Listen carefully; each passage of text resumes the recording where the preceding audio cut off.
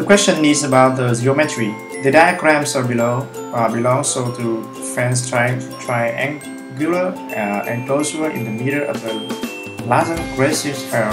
The points I can see are 3 meters apart. The chord G is tied by the 5 meter length of the root of the point A on the outside edge of the enclosure. Given that the corner of the enclosure at C forms the angle phi radian and the area of the field can reach by the chord into 44. So find the value for the angle. Okay. So we got here is the chord. So the chord will be moved outside of the triangle here and because it's um, will have the center here it means the chord will be moved around the point A and with the maximum length is uh, 5 so you can imagine that the chord will be make a circle outside of the enclosure like this. And the radius of this circle is 5 meter. But when the chord move from here because C is G and of course this one also is G. The ghost cannot move more in the circle here but it can make another circle.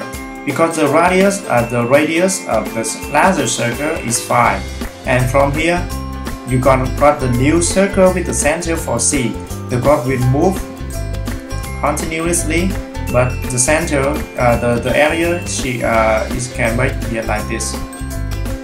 And the radius of this one is smaller than the last one and because here is 5 and here 3 the total of them is 5 and so you can know that the radius here will be 2 the radius of the second sector will be 2 so the total of the area can reach by the chord is 44 is mean all thing in this one and with this one. Okay over here you have is 44 meters square so I can divide this one into two parts. The first one is the semicircle of the uh, of the bigger circle with the radius E2 and the second one is only the area of the sector with the radius E2 and the angle is the angle is pi minus phi because this one will make a straight line so you have the total that is pi angle pi radian and you got the the, uh, the angle inside of the fence is phi so you got the remain angle outside of the fence in the pi minus phi. So the past one I calculate the area of the semicircle.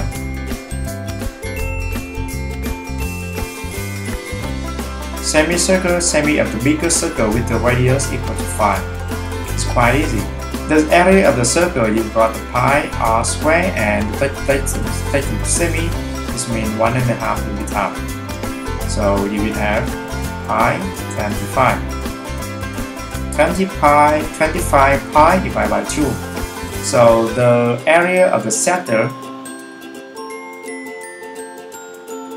the area of the sector with the radius equal to 2. The area of the sector of the circle also always equal to pi equal to r squared and is corresponding to the 2 pi rad. So you just want to calculate the area of sector with the angle pi minus phi. So you can take the question mark in this one and the question mark will be take the cross multiple and horizontal divide. So you will get pi minus phi times with pi r squared and divide by 2 pi. Cancel pi for simplify. And you will got that the second as a second area is pi minus phi times with 4 because i the small circle is 2. 2 square here is 2. So you can simplify one more time. Minus phi. The first area you got 25 pi divided by 2 and the second one in here. The total of them have to be equals to 44. I make this equation. 25 pi divided by 2 plus 2 pi minus phi equal to 44. Now using your calculator, I think it's not too difficult now. 10 pi divided by 2 and 44 minus answer and divided by 2. So you will have here is pi minus. So the answer for pi will be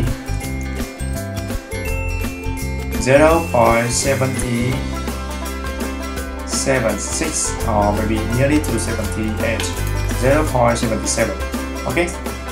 I hope you understand this question